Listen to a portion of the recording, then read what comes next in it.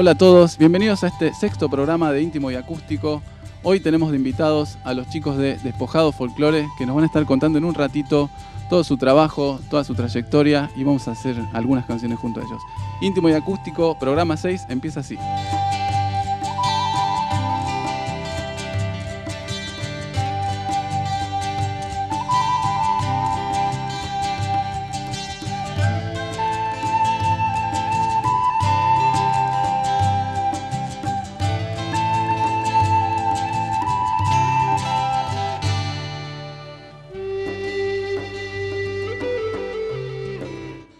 Bueno, acá estamos con los chicos de Despojados. Chicos, Juano, Luli, es un, placer que, hayan venido. Gracias por acercarte a compartir este sexto programa de, íntimo y acústico. Y lo que a mí me gusta de, la historia, lo que conozco de la historia de ustedes, es que aparentemente es una historia que surgió hace muchos años. El proyecto profesional vino después, pero viene con una historia de, una amistad muy larga, ¿verdad? Bueno, sí, eh, la verdad que nos conocemos de chicos. Eh, la verdad que surgió primero siempre juntarnos a tocar en guitarreadas, en, ¿viste? de mate en mate, juntadas. Viajes. viajes. Campamentos. ¿Eran compañeros de colegio ustedes? No, no, no, no. Pero con, conocidos en común, eh, bueno, generalmente cuando, viste, te conoces con otros que también están en la misma que vos, tocando, yo aprendiendo, me acuerdo, mis primeros acordes, Luli también, empezamos como ya desde chicos eh, a, tocar juntos en, en distintas eventos. Y después surgió la idea, tuvimos un proyecto más numeroso de, que se llamaba Vitro, que era un grupo que, más de rock, así melódico. Claro. Y estuvimos varios años con, con ese proyecto. Pero bueno, cada uno de nosotros tenía también el corazoncito puesto en el folclore, ¿no? Después cada uno siguió también sus estudios o sus trayectorias desde, desde lo musical perfeccionándonos en algunas cosas y bueno, después nos encontró maduros, digamos, para, para este proyecto que empezamos ya hace cinco años. Sí. ¿Por qué el folclore? Luli, en tu caso, ¿cómo, cómo Y yo desde, chica, digamos, para mí la música fue, eh, desde, desde que tengo uso de razón, hay música en mi vida. Eh, en, en, mi casa recuerdo desde Mercedes Sosa, este, hasta Pro Música del Rosario, que por ahí escuchaba cuando era más chica y tenía mucho de folclórico también. Eh, siempre, siempre el folclore es, parte de mi, de mi infancia y de mi, de mi identidad, digamos. Si bien me gustan un montón de otros géneros también, ¿no? Pero el folclore es algo que me, que me une, no sé, a, mis raíces, a mi historia, a mi infancia. La verdad que este, mis padres también eh, cantaron en, coro, mi mamá tocaba la guitarra, digamos, es algo que siempre se respiró en mi casa. ¿Y vos, Juano, cómo, cómo Bueno, un, un, poco parecido. En verdad en casa yo soy el sexto de seis hermanos y bueno, todos mis hermanos tocaban la guitarra, así que de chiquito ya agarré una guitarra y bueno, en casa estaban los cancioneros de folclore, los típicos con los primeros tres acordes.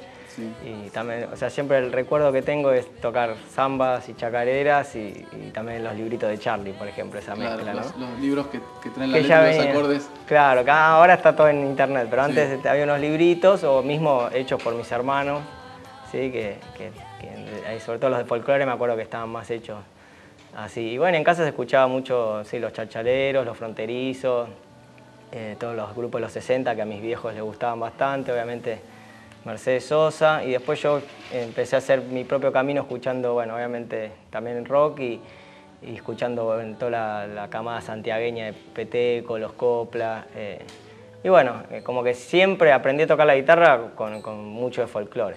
En la música que hacen ustedes, eh, que cantan a dúo y, armonizan las voces, ¿ustedes sienten que tienen una, influencia de artistas de otros géneros, tal vez diferentes al folclore? Que, en, los que vuelcan sus arreglos, porque lo que yo escuché que hacen es, eh, son, temas con arreglos propios, son arreglos de ustedes, ¿verdad? Sí, eh, sí, la verdad que yo creo que uno se va nutriendo de todo y, todo lo que uno escucha después queda plasmado en, un arreglo de guitarra, en un arreglo de voces. Eh. De hecho, un poco el nombre Despojados responde a esto, ¿no? al, despojarnos de otras o de, formas de que debe ser tocado el folclore y poder hacer nuestros propios eh, nuestras propias versiones, nuestros propios arreglos, nuestro, nuestra impronta, digamos, eh, en cada tema. ¿Ustedes cómo se acompañan? O sea, eh, tienen una formación, bueno, es el dúo vocal, ¿y qué instrumentos usan para, para hacer la música? arrancó todo con guitarra más que nada y a dos voces. Después fuimos incorporando Luli con la percusión Y ya desde hace un año eh, también eh, está la flauta traversa de Andrea que nos acompaña eh, desde hace un año también en este proyecto. Y generalmente lo, primero fue buscar el tema de las voces, ¿no? los arreglos vocales, como, como armar algo por ahí. Y por ahí una guitarra que, que no sea algo tan tradicional, sino buscando por ahí alguna influencia de acordes más raros o de otras músicas. Y bueno, después de a poquito fuimos incorporando la flauta, eh, la percusión, siempre un bombo viene bien. ¿Alguno de los dos eh, es el que hace los arreglos? ¿Los hacen juntos, los prueban, se pelean, se discuten mucho para hacer este tipo de arreglos? Eh, un poco la, cocina de, de nuestras versiones no, la verdad que lo vamos haciendo entre los dos. Por ahí él vino con una idea y no nos peleamos, nos llevamos bastante bien. Eh, pero sí hay, ya son muchos años. Sí, sí, nos conocemos bastante. Sí hay, aportes de los dos, la verdad que, bueno, y ahora desde la incorporación el año pasado de, Andrea, que es la chica que toca la flauta, ella también tiene conocimientos eh, musicales bastante eh, vastos y entonces también hace, hace aportes interesantes. Pero sí, lo vamos, lo vamos, hay temas que salen enseguida y por ahí en un par de ensayos salen y ya quedan, y hay temas que le damos vueltas y les damos vueltas y por ahí hay algo que no nos convence y entonces después buscamos otra forma hasta que queda de la forma que ¿Les pasó mucho de, encontrarse, porque una cosa es hacer el arreglo, otra cosa es seleccionar los temas? ¿Qué pasa ahí con, con los temas? ¿Los temas los buscan mucho? Aparecen solos, es como una cuestión a veces providencial que el tema se les cruza en el camino y ustedes no lo tenían pensado. No, nosotros eh, tenemos como algunos criterios, digamos, para elegir, además de que surgen temas a veces eh, así en, entre la almohada, del golpe, pum, algún tema que nos parece que no nos puede faltar. Pero lo que tratamos es de abarcar eh, autores, por un lado representativos, tenemos temas de Cuchel y Guizamón, de Dávalos y Castilla, de Teresa Parodi, Raúl Carnota, y después cosas que, que, nos han marcado también en nuestra historia, tanto como, como grupo como en las historias personales. Eh, y también intentando abarcar distintos eh, ritmos, ¿no? Eh, chacareras, chachas, como ir recorriendo un poco el país, siempre decimos, ¿no? con los distintos ritmos.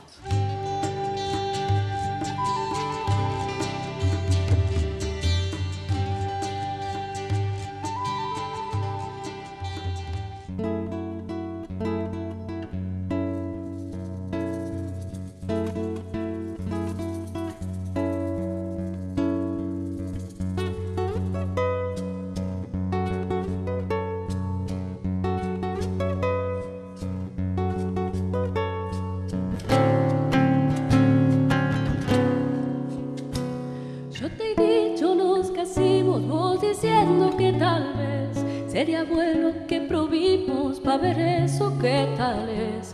Te propongo sirviñacos si tus tatas dan lugar. Pa' la alzada del tabaco vámonos a trabajar. De comprar osita nueva en la feria es un malao. Es cuestión de hacer la prueba de vivirnos amañados. Y si tus tatas se enteran, ya tendrán consolación que todas las cosas tienen con el tiempo la ocasión.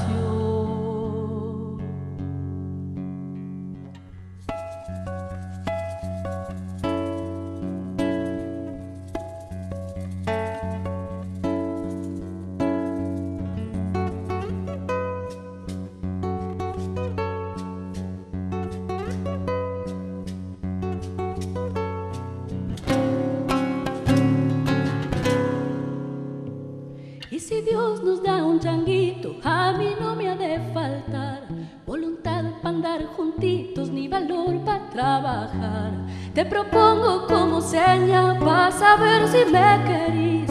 Cuando vas a juntar leña, sílvame como perdiz. Te compraré ochita nueva, en la feria es un malao. Es cuestión de hacer la prueba, de vivirnos amañados. Y si tus tatas se enteran, ya tendrán consolación. Que todas las cosas tienen con el tiempo la ocasión.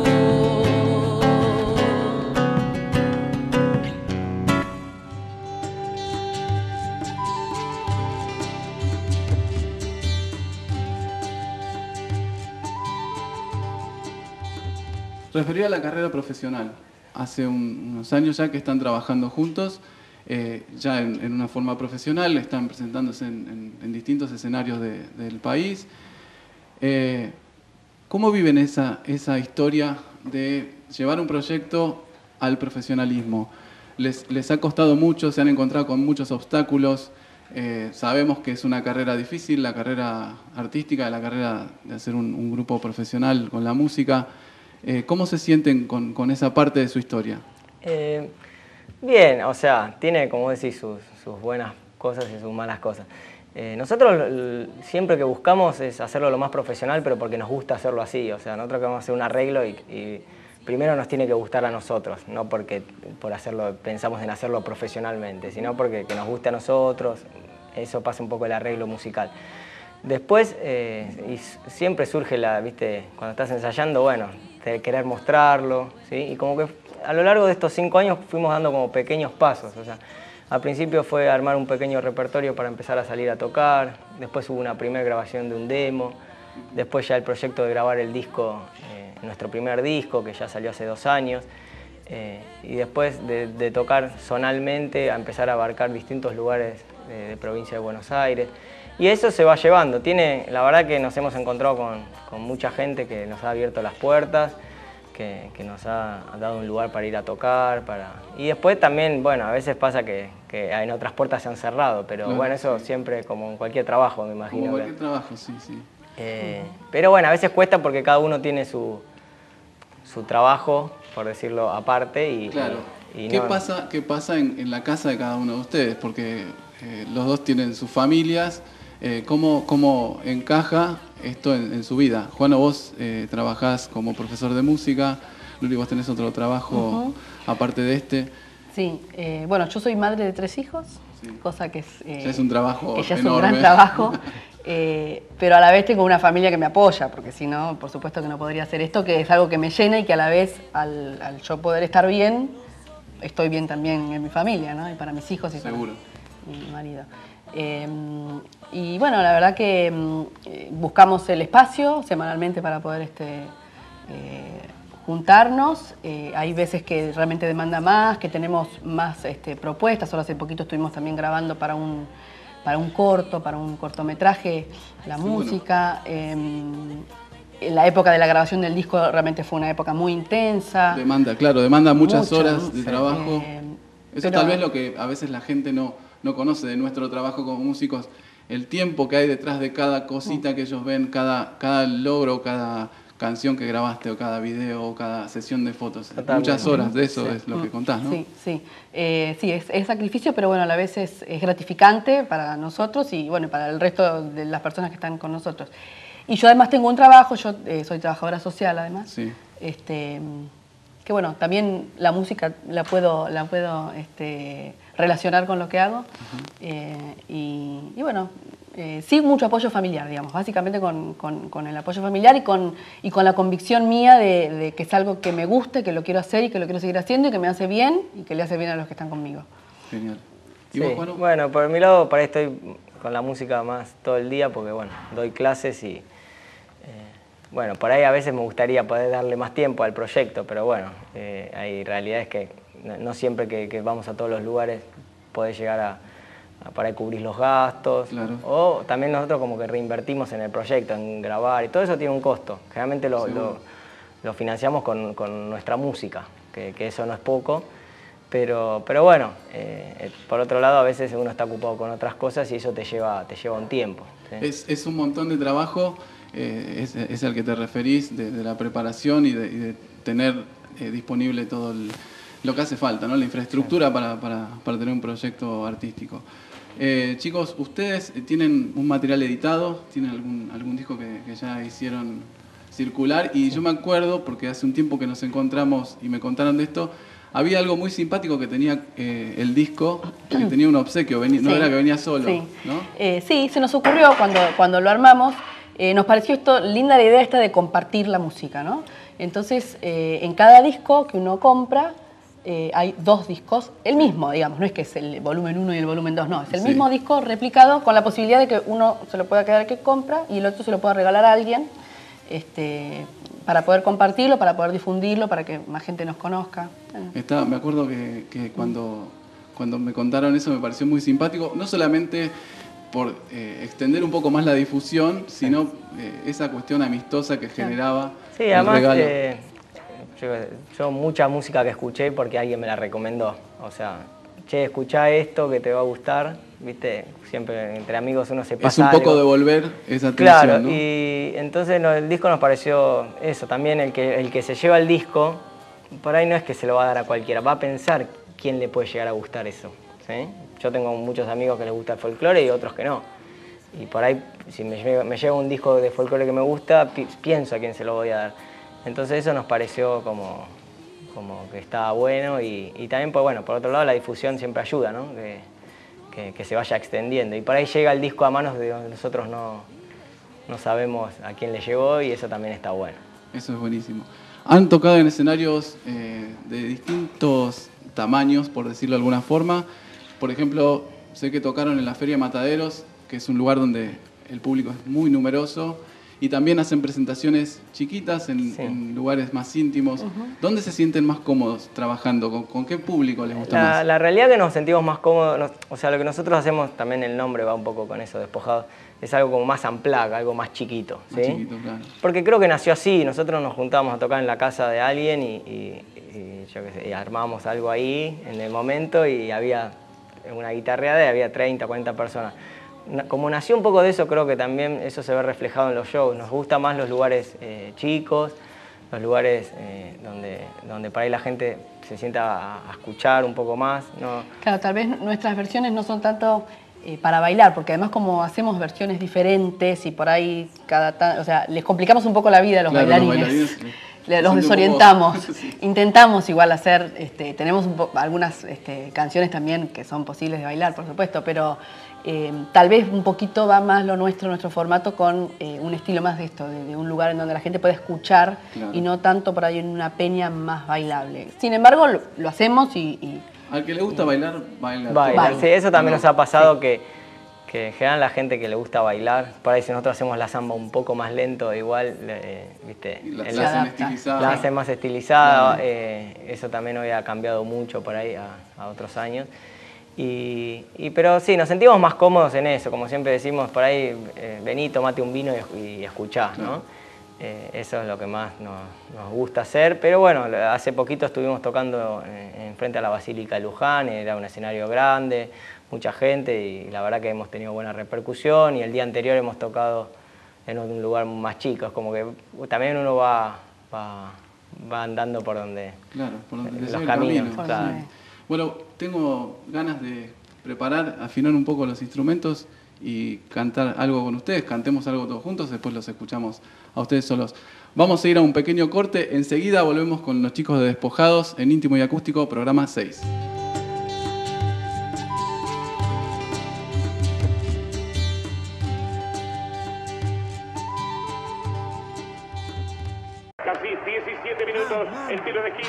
Será para Suecia, vendrá el centro desde la derecha, ya va a venir cruzando naturalmente toda el área para que intente cabecear y la pelota va a venir para él, está por la izquierda sosteniendo el ataque, hace la pausa, la para el número 8, intenta escapar a la marca, todavía no, pisa otra vez. Con Telered HD no vas a poder ver otra cosa. Pedilo llamando al 0810 810 22253. Telered. Hoy Telered se acerca a vos con la nueva sucursal Polvorines en Malvinas Argentinas. Todos los servicios en un solo lugar, cerca de tu casa. Un nuevo punto con atención personalizada, emisión de facturas y toda la comodidad para realizar tus trámites. Somos Telered. Somos tecnología. Somos quienes llevamos la mejor imagen a tu hogar. Te acompañamos a navegar por Internet con más ancho de banda y somos quienes te comunicamos al mundo con la nueva telefonía para tu hogar. Somos Telered y estamos cerca tuyo, en la nueva sucursal de Malvinas Argentinas, Rivadavia 2569, Los Polvorines.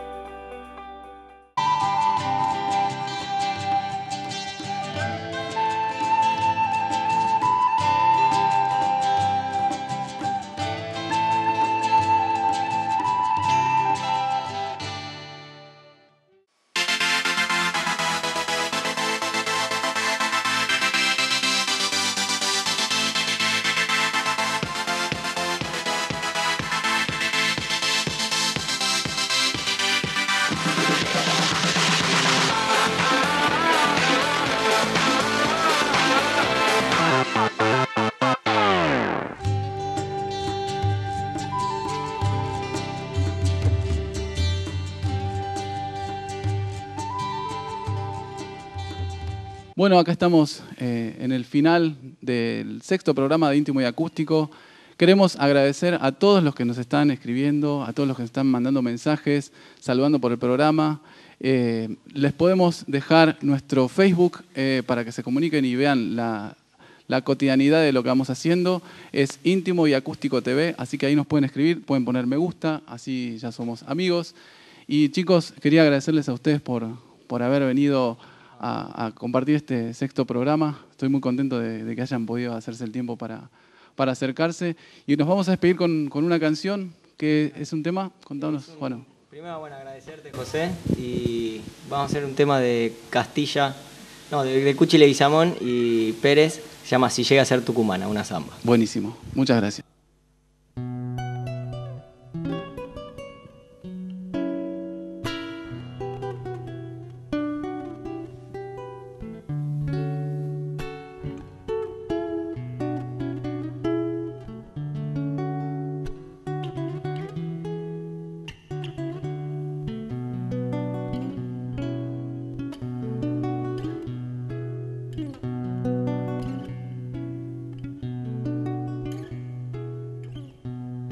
Es un junco y la boca es colorada.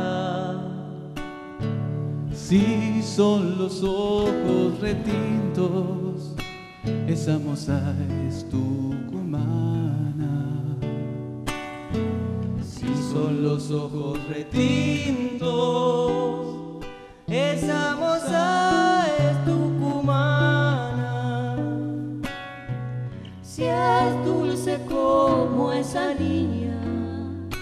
y airosa cuando la baila.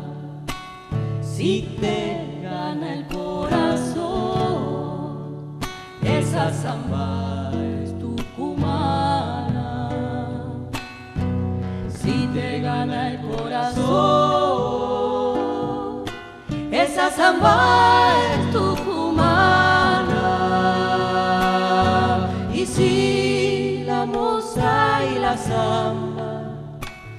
a ser tucumana. Ahogate en agua bendita, que ya en el diablo te salva. Ahogate en agua bendita, que ya en el diablo te salva.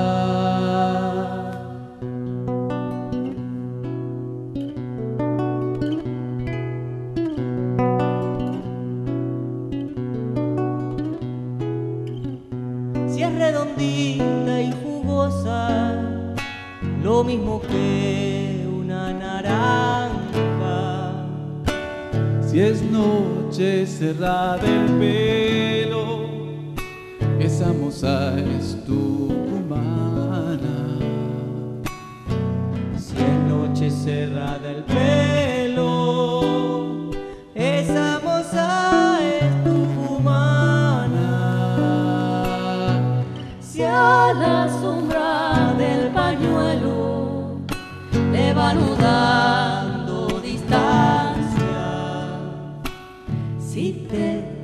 consuela y te miente, esa es tucumana.